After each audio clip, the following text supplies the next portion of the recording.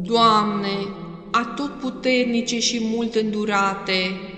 îmi aduc aminte că te-ai născut om din Sfânta Fecioară în peșteră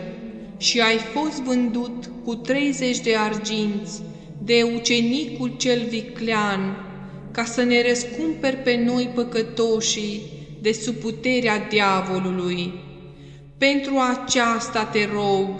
îndură-te de mine vânzătorul. Primește, Doamne,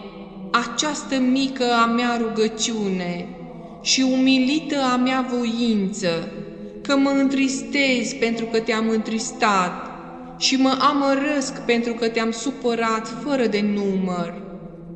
La tine, prea bunule Mântuitor, am toată speranța și cred că tu, care din iubire către oameni ai primit să fii vândut pentru noi, te vei îndura și de mine acum, ca să mă mântuiești de chinurile cele de veci și să mă învrednicești împărăției tale. Nu te depărta de la mine, Doamne, și ajută-mi ca în toate să fac voia Ta și să nu te mai răstignesc în toate zilele cu faptele mele cele păcătoase, nici să te bajocoresc cu cugetele mele cele rele, precum făceau iudeii cei necredincioși în timpul sfintelor tale patimi,